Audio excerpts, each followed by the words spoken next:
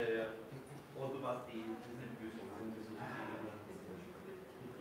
Ja, nicht, nicht.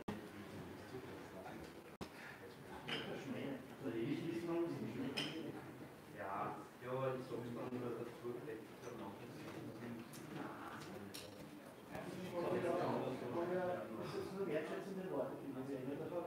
Genau, ja, ich darauf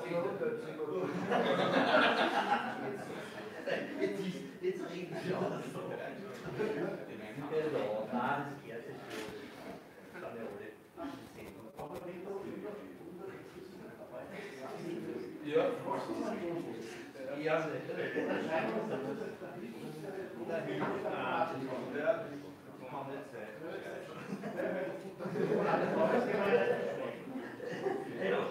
nicht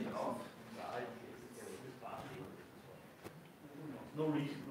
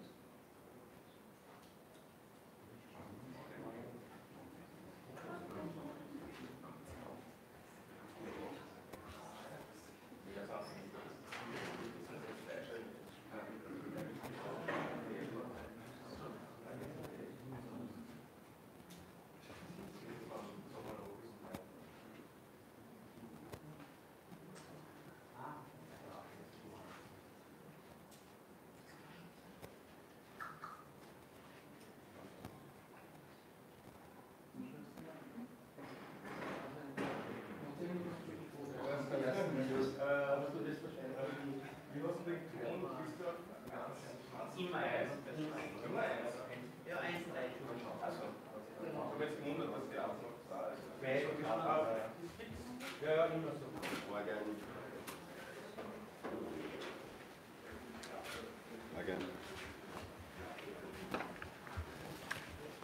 Da wäre total viel Platz für meinen Unterlagen.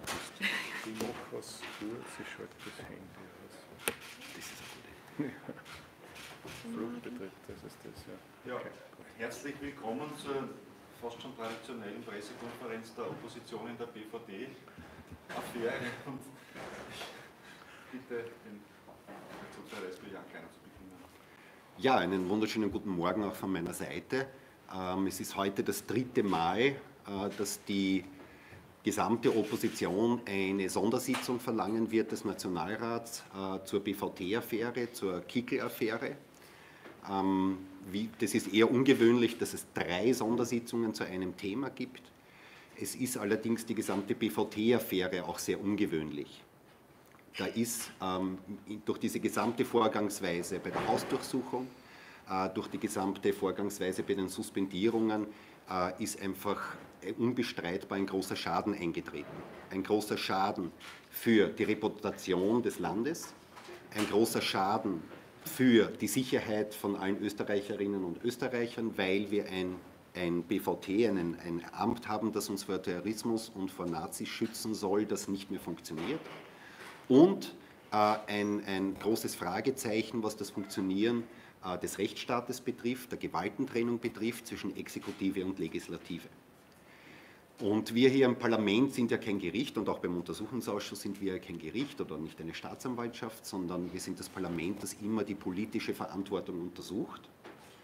Ähm, jetzt ist dieses Urteil das gestrige, ähm, dass nämlich die Hausdurchsuchung fast zur Gänze äh, unrechtmäßig war, in erster Linie oder vordergründig einmal natürlich eine Kritik am Untersuchungsrichter und an der Staatsanwaltschaft in rechtlicher Frage. Aber bei der Frage, wer trägt dafür die politische Verantwortung, ähm, stellt sich für uns natürlich die Frage, ist das der Justizminister, der nichts wusste, dass eine BVT, also dass es eine Hausdurchsuchung geben wird, oder ist es der Innenminister, der vorab informiert war, dass es diese Hausdurchsuchung gibt und der in Wahrheit der Drahtzieher dieser Hausdurchsuchung war. Innenminister Kickel ist meiner Meinung nach der gefährlichste Innenminister der Zweiten Republik. Äh, das sehen wir hier ganz klar.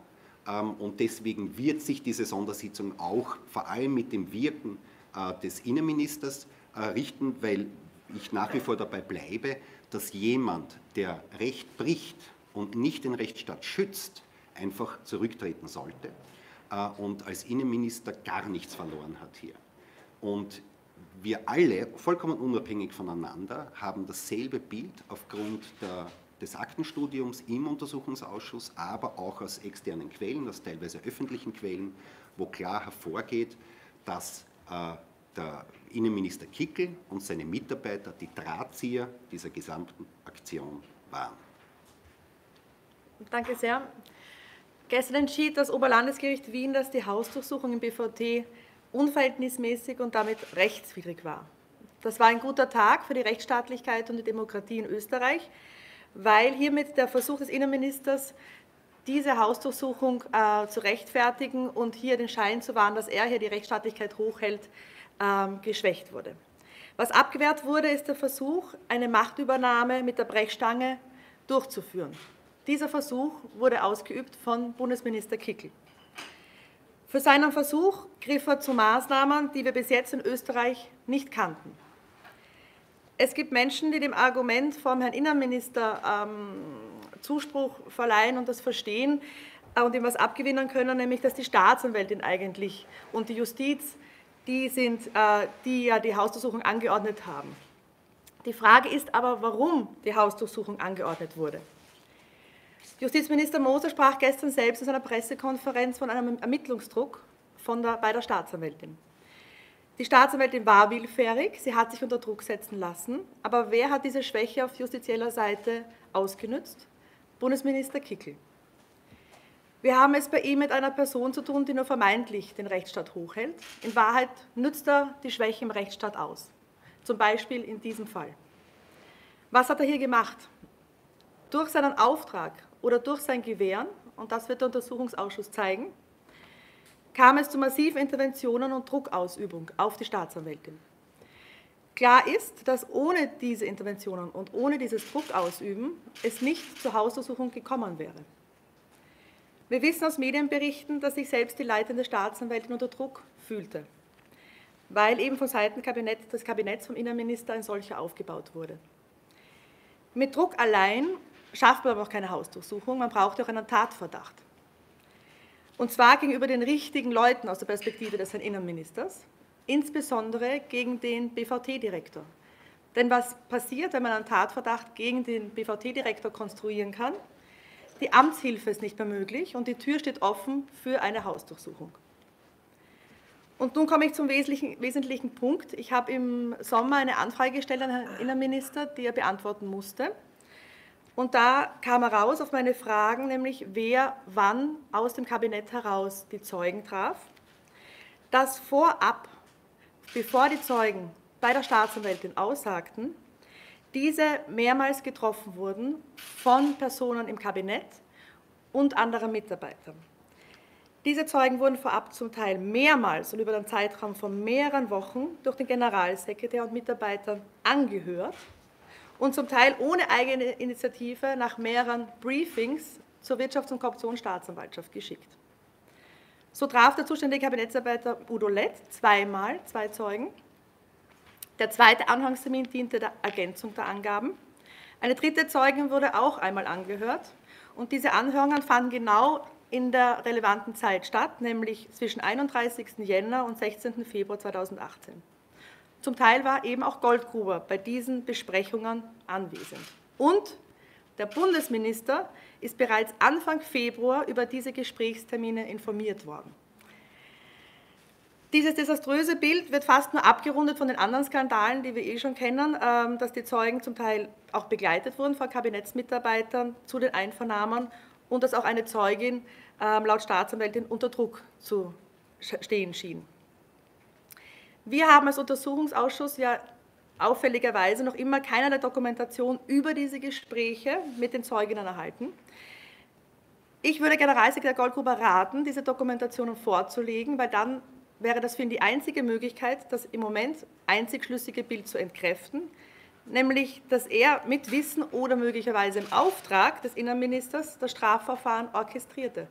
Denn er hat in der Hand, welche Informationen durch die Vorbereitung der Zeugen, wann an die Staatsanwältin kommen und wer in diesen Aussagen belastet wurde.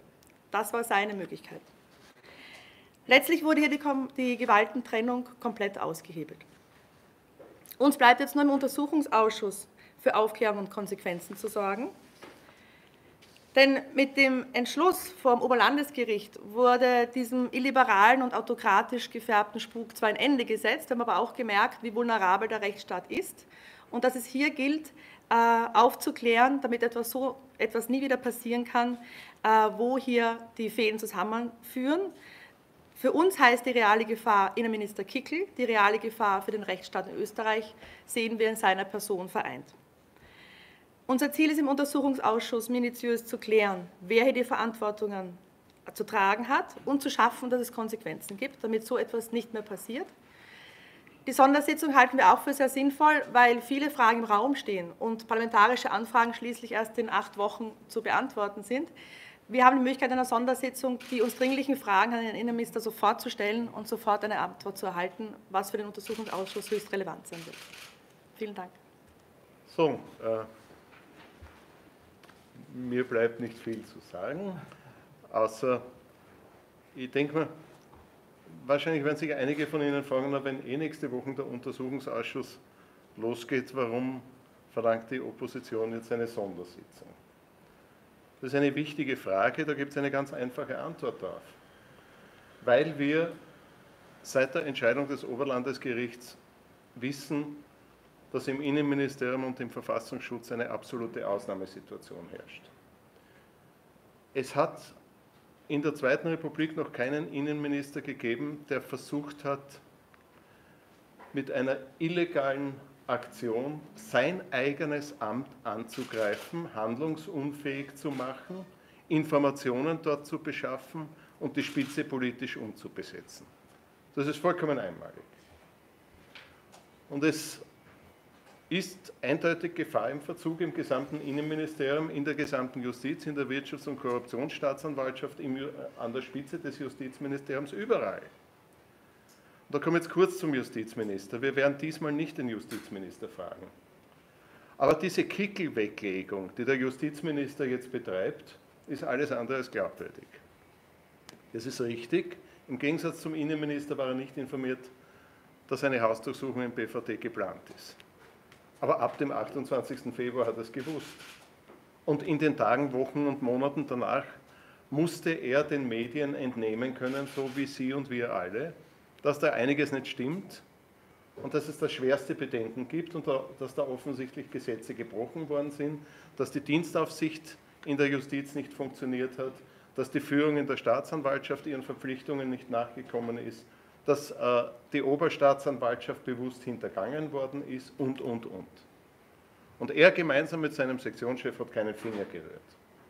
Ich halte ihn nicht für den Hauptverdächtigen in dieser Causa. Ich halte ihn für jemanden, den wir uns genauso in den Ausschuss holen müssen und den wir befragen müssen, warum er gegenüber der Staatsanwaltschaft seinen Verantwortlichkeiten nicht nachgekommen ist.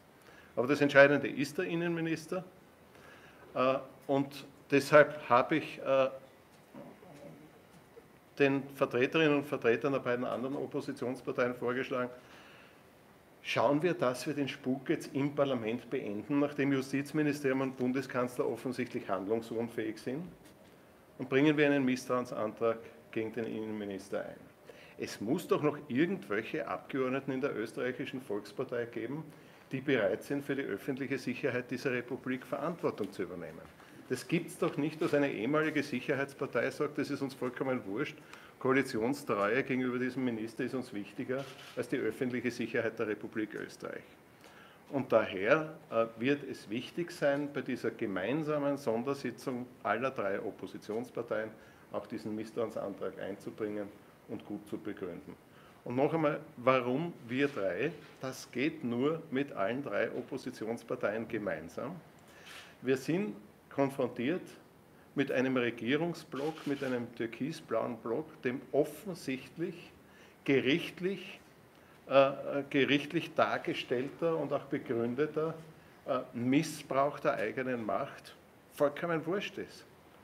Das Parlament ist der einzige Ort in dieser Republik, wo ein politisches Gegengewicht entstehen kann und überhaupt noch der österreichische Rechtsstaat und die Gewaltenteilung geschützt werden können.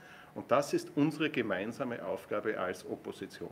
Und die nehmen wir auch wahr bei Sondersitzungen im Untersuchungsausschuss und bei dem Versuch, den Innenminister endlich loszuwerden, weil er nicht mehr tragbar ist.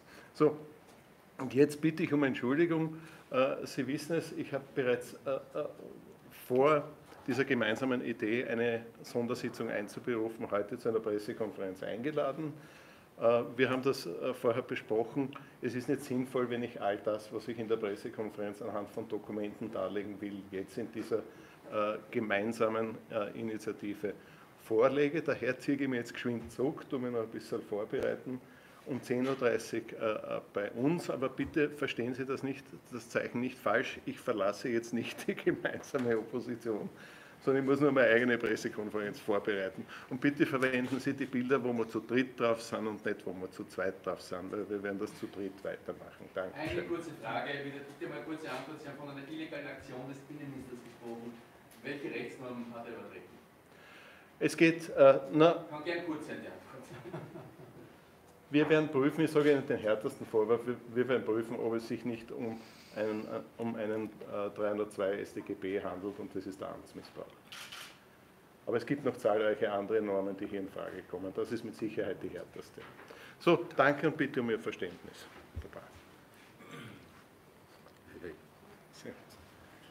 Ja, gibt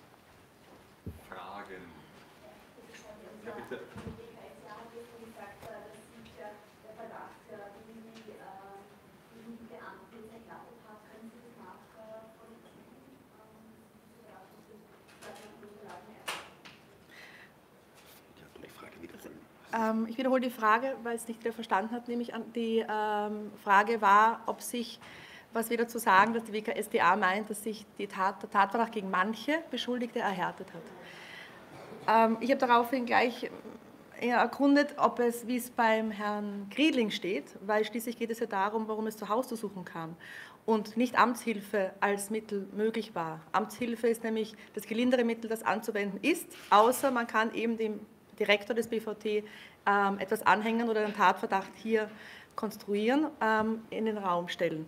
Und gegenüber ihm hat sich der Tatverdacht nicht erhärtet. Und das ist für mich das Relevanteste, weil damit klar ist, dass die Grundlage für die Hausdurchsuchung sich nicht erhärtet hat, sondern noch mehr, man sich fragen muss, warum das Ganze.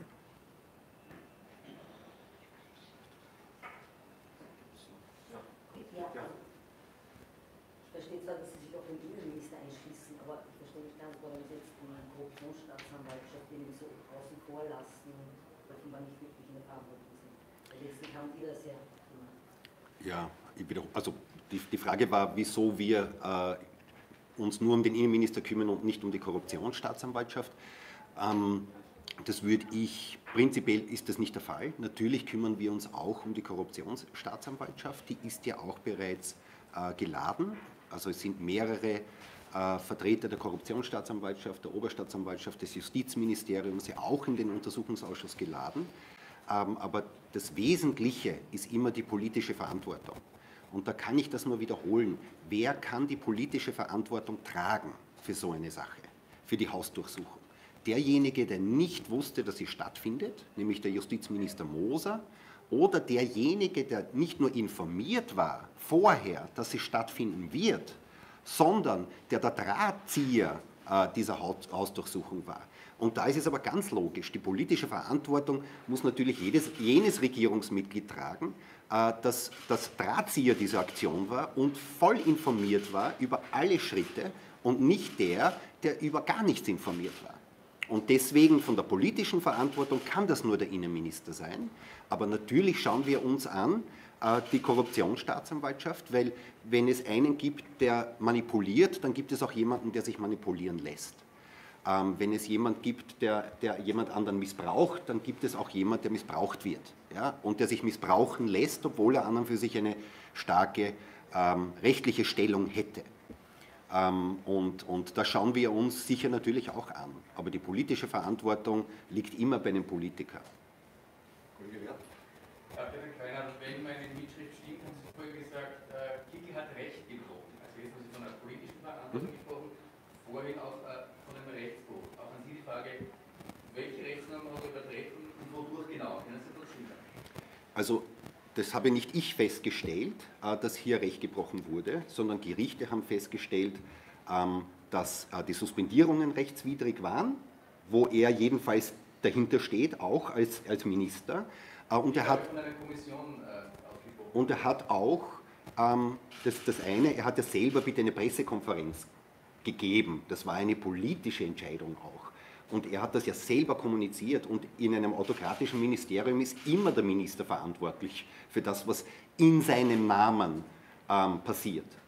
Aber die Suspendierungen sind als rechtswidrig aufgehoben worden. Ähm, die Hausdurchsuchung ist als rechtswidrig erkannt worden. Ja, aber die hat er nicht angeordnet. Die hat er nicht angeordnet, aber er ist der Drahtzieher der Hausdurchsuchung. Und das, das ist äh, eindeutig und lässt sich lückenlos, auch wenn wir das im Untersuchungsausschuss lückenlos darlegen, dass der Drahtzieher war. Bei den Suspendierungen ist es direkt der Fall. Wenn ein Gericht kommt und sagt, dein Handeln war rechtswidrig, was soll, also wie soll ich das dann sonst kommentieren?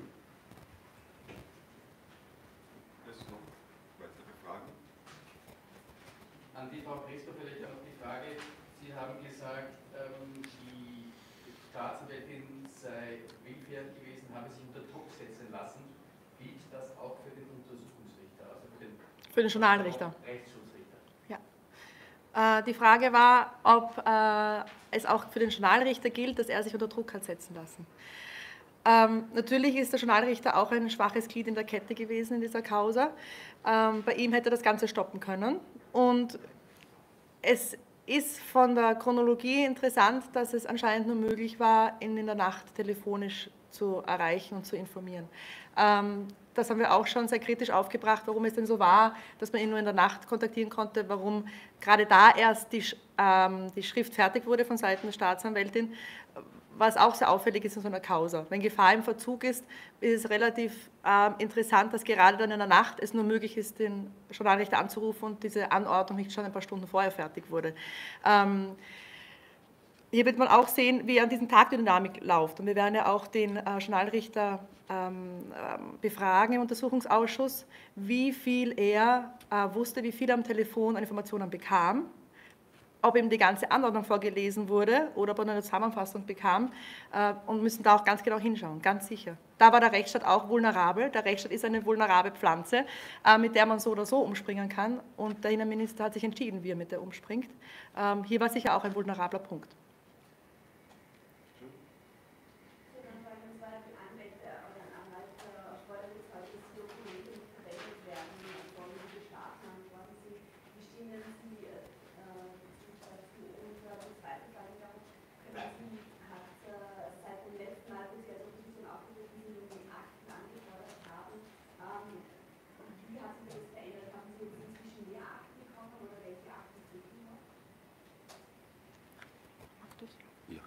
Die erste Frage war, ähm, wie wir dazu stehen, dass die, äh, obwohl die Hausdurchsuchung äh, nicht rechtens war, ähm, ob die, die, beschlagnahmten Unterlagen verwendet werden dürfen im, in einem etwaigen äh, Strafverfahren.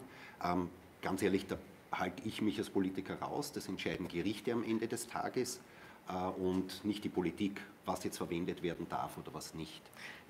Heikel ist, wie die Daten natürlich bei der WKStA gelagert sind und wie es um die Sicherheit dieser Daten steht. Es ist ganz klar, dass jetzt ein Gericht entscheidet, wie damit umzugehen ist. Das ist rechtsstaatlich gesetzlich so vorgesehen. Die Frage ist nur, wie geht es diesen Daten? Ähm, wie ging es Ihnen bisher und wie geht es Ihnen jetzt? Das sind geheimste Daten, wo auch unsere Partnerdienste Sorge haben, wo und wie die bei der WKStA gesichert ist. Ich habe eine Anfrage gestellt, um zu schauen, wie es in der ganzen Chronologie um die Datensicherheit stand. Aber das ist ein ganz normaler, korrekter Rechtsweg, der jetzt gegangen wird, dass das Gericht entscheidet, wie mit diesem umgegangen wird.